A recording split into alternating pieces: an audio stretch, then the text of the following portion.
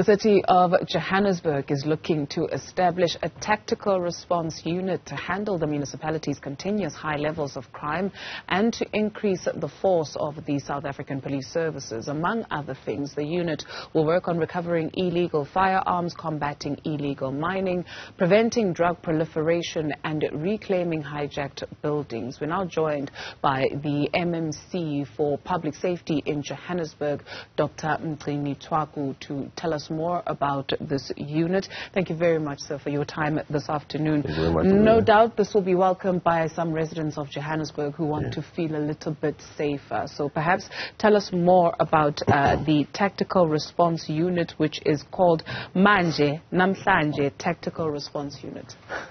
no, thank you very much, uh, uh well, the uh, the as an EFF deployed MMC is that one of the the, the points or the commitments that the EFF said was that we need to ensure that, number one, we increase the number of, of the roadblocks so that we can recover firearms and all those things.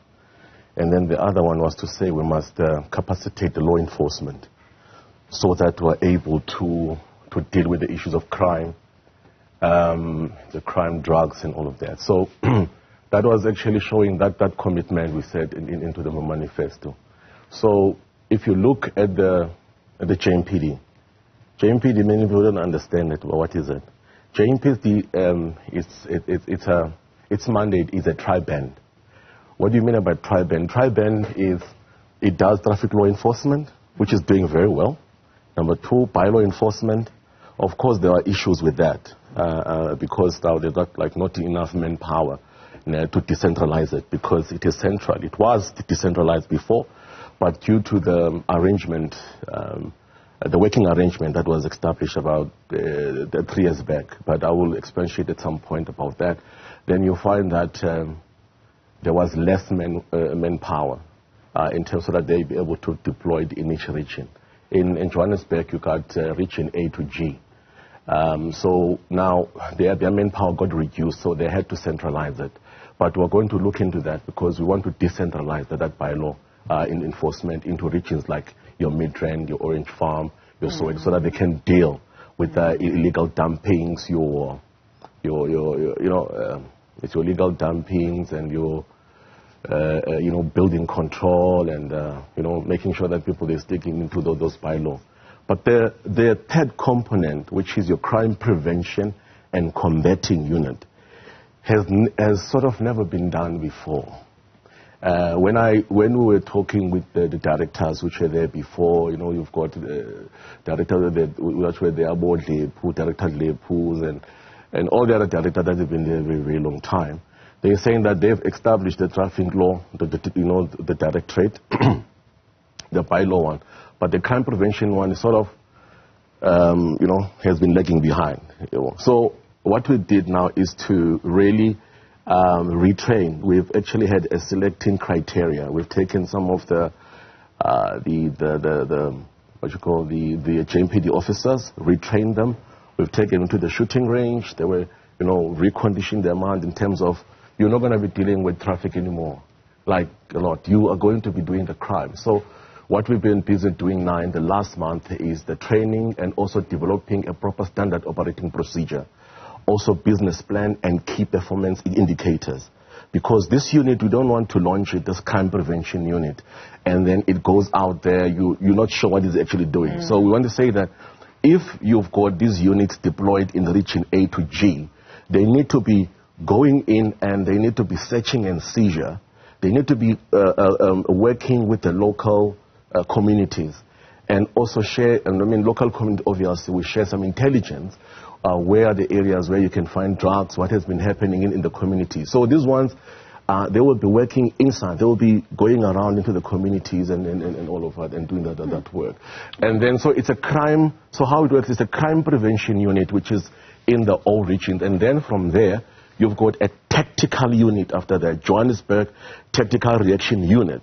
That one is a swing unit. For example, if you have issues like the, the cash in transit, the hijackings, uh, the kidnappings, and also special operation. Let's say we want to hit a place in, uh, in Soweto where there's been alleged that there are drugs or maybe in town and all of that. Mm. So that takeover will be, will be dealing with the operation. It will be a force multiplier now okay. in terms of, yeah.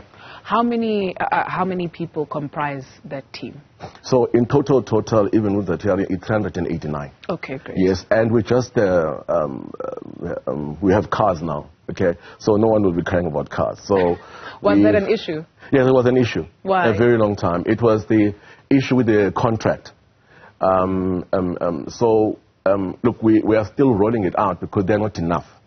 Um, not so, enough cars. Yeah, not enough cars currently in terms of your regions. For example, in F1 yesterday, I joined some of the officers in F1. They're still having combis.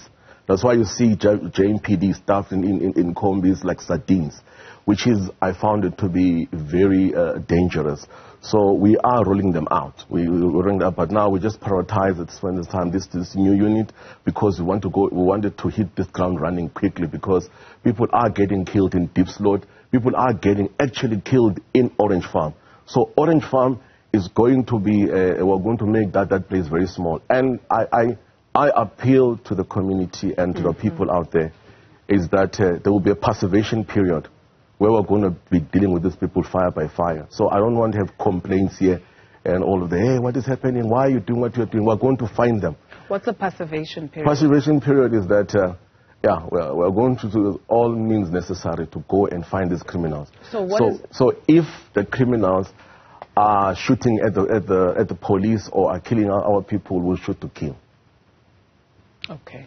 Eye for an eye approach like we, well, we'll never negotiate with any criminal because what is happening now in, in Johannesburg, I mean, people are dropped, are dropped like, like flies. I mean, uh, we were responding to a lot of uh, issues in Alex where our patrollers, because you've got patrollers which are the informal patrollers, which are not being supported by the, you know, by the, you know, they don't have any, any sort of income. So the JMPD has been working with them very closely in Alexandra. We've just established other patrollers in Diepsloot. Um, we are making inroads in Soweto, but there's been patrollers which are there before, but we're expanding it everywhere now because those become our eyes and ears. Mm. Now, thugs and criminals and all those, uh, you know, who've been doing uh, some, some uh, criminal activities, they see that now these patrollers are working with JMPD effectively because we are arresting, we are, we're getting arrested, we are finding firearms. Now they are targeting them. Mm. Uh, they've killed uh, four in Alex, or four to five already in Alex. Uh, there was another one which was killed last week in, in, in, in, in, uh, in uh, Orange Farm uh, and all of it. So we are just want to send a message with this unit starting from the 10th of November on uh, JMPD uh, crime prevention unit and tactical response is not going to be negotiating with any, you know, the, the criminals. There will be nightlife. Uh, most of the um, taverns which are non-compliant, they'll be closed. They, they, they must just get ready. You must comply properly and also you must ensure that the, the noise is at the acceptable, acceptable level. And, uh, uh you know, so, so yeah, there's going to okay. be a lot of, uh, of that thing that's going to be happening. It, it, it, sounds like also Guningi, right? But I, yeah. I, I, just want to find out in terms of the engagement that has been happening with the community because yeah. you also speak, when you speak of the JMPD, the unit that deals with the enforcement of bylaws. Yeah. Bylaws are not by and large, in some parts of the country adhere to. Yes, right? So you'll find that maybe your neighbor has opened up a drinking spot and they're blaring the music and it's matric exams and now yeah. the whole street must suffer or whatever. So what is it that the community needs to know, right? Have you been sensitizing community members? These are the people that are going to be coming in. This is how they are going to, to work. These are the prescripts of the law under which they can operate because also mm. you do run the danger of someone someone being identified or ututu, so, so, so, so, but that person is not necessarily a criminal. Yeah. No, look, we, I mean, we will do our work with uh, caution. Uh, uh, mark my words, and we said to the guys we have to do a lot of intel work. Um, we we actually going to be using lots of the the patrollers. We I mean we're working very closely with, with the uh, patrollers. And yes, we, we had some consultation meetings. If you remember, when I started in the public safety department, we went around in Diepsloot, we went Orange Farm, and what the people were crying about was crime. Mm. Like, uh, and also the, the I mean, the, uh, I, I, know that uh, sometimes the, the SA police will have a problem with the vehicles and all of that, with the manpower. So we are coming in as a force multiplier with the SAPS. Um, um, um, um, yeah, so, so I mean, uh, so there were those complaints, and they said, look, we understand that you, you do traffic management and by law, but uh, we have a problem with crime. That's why you've seen that we've been also involved in terms of the Amazamazama, we've been involved in terms of the building inspection and, com- and, and combating, you know, sort of the, the crime. So we're quite showing them what they can actually do that. But what, what, what we've seen as the leadership was that I think that uh, JMPD just need to be trained, but they have a mandate to, so that they can deal with crime and work hand in hand with, uh, with, uh, with SAPS. And I want to appeal to my colleagues in the SAPS. This is not a competition. We want to work with them. Okay, we understand the challenges that they are having. Uh, remember, JMPD, the only thing that we can do is to arrest. But uh, in terms of, detention and, and, investigation and writing of the dockets, this still um, the function of, of SAPS. So we have to forge a relationship. I appeal to the leadership of, of SAPS that, uh, you know, our people really, really, they, they are in, in, in trouble. They, they really been uh, crying up about crime. For example, in, um, in, Jer- in Jerusalem, if you remember, Jerusalem, they ran away from their homes. They went into the police stations. So it was very sad to me to, to see that uh, people have to run away from their homes, run away from the criminals in the Zamazama. So we've been engaging with them. We've been to Ivory Park. Lots of criminality. People are being dropped. Right. So there's going to be a lot of work that's going to be done. Lots of uh, um, uh, shebeens are going to be closed. Uh, that are non-compliant. We're going to also do the, the enforcement um, of the bylaw. Uh, for example, there's a certain limit of sound that you, you must have. It's, um, you know, it's, uh, so remember well, it's 85 decibels. And then we, with my colleague Annie Makofena, which is MMC for Health and Social Development, she's got those inspectors. So at night, when we go out as well, we're doing what is called Operation Nightlife we, we, we go with them. So we are going to go into an area, we listen into the sounds of the, you know, uh, you, you, there's a machine that you use. If it's over that, mm-hmm. that uh, limit, then we will close it. So there's gonna, we're going to be stepping at, the, at people's toes, by the way.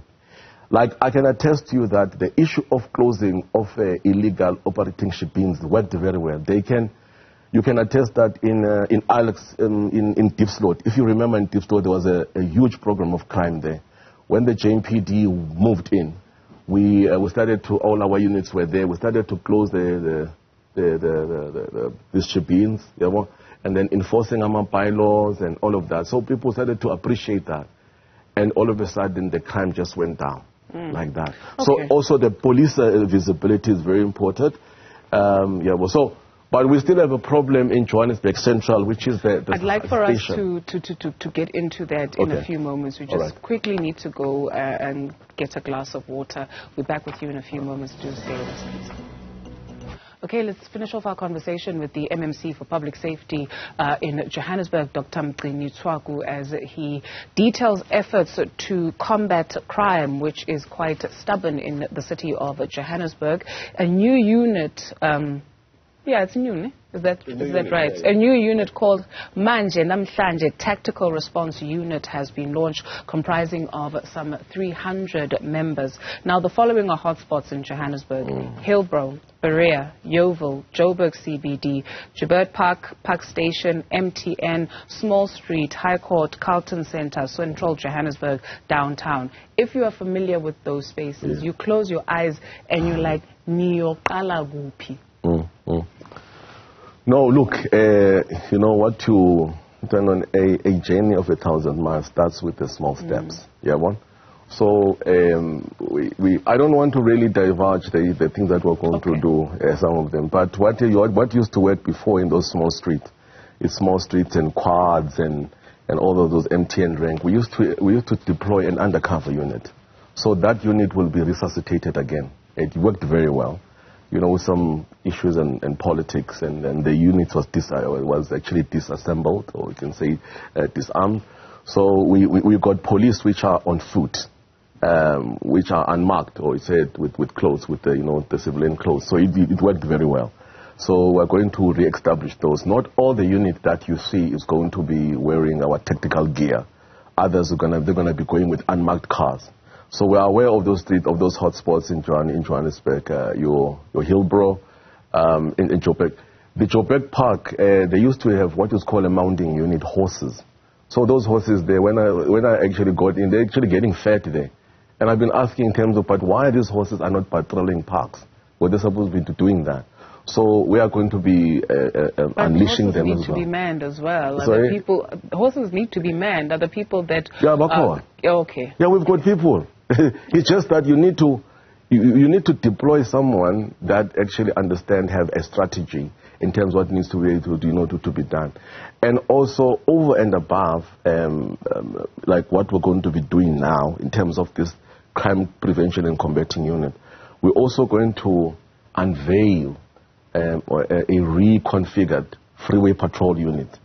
And the, the, question that I have asked is that we've been dragged on Twitter, okay, on social media, on the issues that when the cash in transit happened there, where were the police? Mm. So I had to ask the, the, directors, where were we? I mean, the freeway patrol, uh, you know, so uh, that, well, they said that no, they were around and everything, and, and actually that's why they, they came and, you know, and, and, and, and, and actually dealt with the, with the scene. But we are reorganizing ourselves in terms of that because we need to be focusing on M1 and also sort of the uh, M1 and the N1 around the area. And we're going to man all intersections. All intersections will be manned and all of those things. So yes, um, if you look at the stats there, if I can go back in terms of the, of the crime stats, Johannesburg Central is the center. That's where crime is at. Actually, mm. it is the highest, followed by Hillbrow, by Yeoville, mm. Ivory Park, Alex, and all of that. And Honeydew, by the way.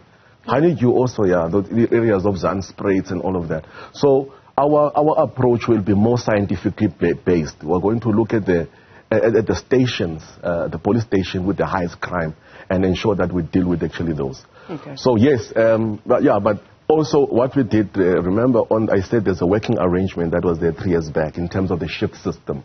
It's a four day in and four day out system. So we've, uh, we've, we've spoken to the, we've been in, in, in, conversation with the unions to say, look, can we able, let's say, to put, to, to put a standby allowance? Standby allowance will actually make at least the guys to work overtime.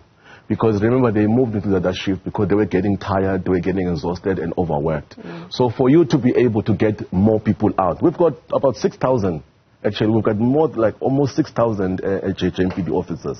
But, you know, due to the amount of work, they, they, they, they, shift, they went into a shift called four day in, four day out. But now for us to be able to get all the, the guys out, we must put something on the table. So we had to uh, put more money for them, a stem allowance. And I encourage that um, uh, we must, in, even in SAPS, they're actually suffering the, the same thing, mm-hmm. give the, the police money uh, uh, so that, I mean, they're able to work uh, you know. So, I mean, uh, okay. so the guys are going to be out. They, we, we've, we've, put them into the flexi hours. On, on the parting, last parting shot, how is this thing going to help, by the way, is that taking them out into the flexi hours, were you aware or do you know that between 4 o'clock and 8 o'clock in the evening, in the afternoon, and 8 o'clock in, at, at night, that period, there's no law enforcement on the ground. Between? Between 4 o'clock in the afternoon, 4 o'clock. 4 p.m. 4 p.m and 8, and, and, and, and 8 p.m. There's no police because... No JMPD? No, no, there's no security forces. Oh.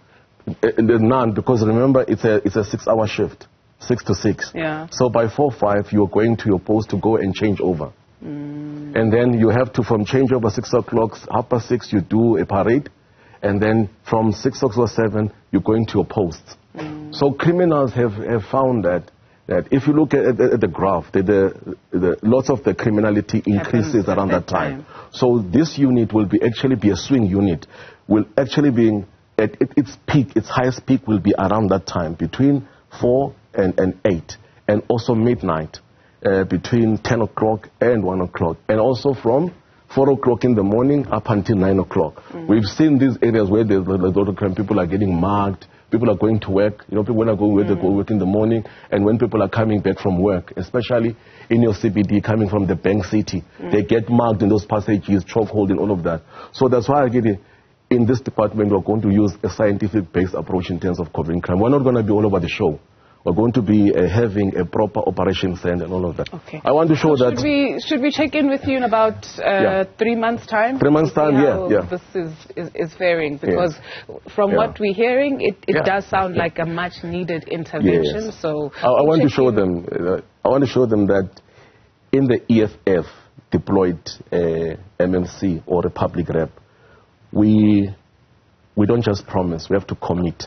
So this is actually the commitment that, that the EFF said that we're going to have this law enforcement uh, uh, uh, um, unit that is dealing with that. So we wanted to really show them that we mean what we say, we mean business. and yeah. it is one, it's one of the manifestos that actually we have a, uh, if you look at the EFF manifesto, it's got all those, uh, it's like action, action orientated. And if you look when we came in as an MMC up until now, we tick a box, this is done, this is done, this is done, actually within a year. So this one here is a very critical one. Uh, it is the one that has actually been overdue in the whole country. We hope that maybe the whole municipalities and the country will follow suit. It's a, it is indeed a critical one um, because politics is a revolving door right? Yeah. So even beyond the EFF, because there's only one South Africa, yeah. and it's it's in our it's in all our interest, and more so when we speak of combating crime. but this country mm. has to work. So beyond e-politics, yeah, right? so we have to get South administrator, Tina, when we come in, we put policy in place. We look at the manifesto, um, a manifesto that you shall fight crime, you shall increase and you, you, you shall have law enforcement and, and empowered so that you can deal with drugs and, and, and all those things. And then you, you, you have to change that into a business plan. How are you going to do it? What are the key performance in indicators? And leave it there and lock it. Then you take it to council, council adopts it. Now, is these ones here, these administrators, ah, even if it changes, they must ensure that what it's we're done. Not, we're not here to talk about that. You know? yeah. We're not here to bash someone. No, no, we're, we're not bashing. someone. I think yeah. what is important for us as South Africans and what we care about is that even beyond the EFF, beyond the ANC, beyond the DA, beyond Ututuzile, beyond mm. anybody, mm. that this here country works, that mm. we feel safe, that you can go to the shop and yeah, you know yeah, yeah. you're fine, that you can drive anywhere and you know that you're fine, that if something happens, you, you are taken care of because sure. in this country, mm. that goes beyond you and I, you know, as administrators. Sure, sure. The South Africans are taken care of. But siyabulela Thank you very much, Dr. We're going to check in with you in about three months' time to see how this unit is faring. And